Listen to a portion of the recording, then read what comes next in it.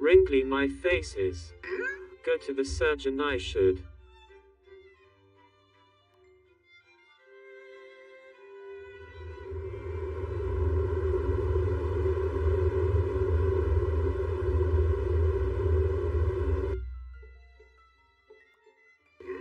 Remove wrinkles from my face can you doctor? Okay it will only hurt a little.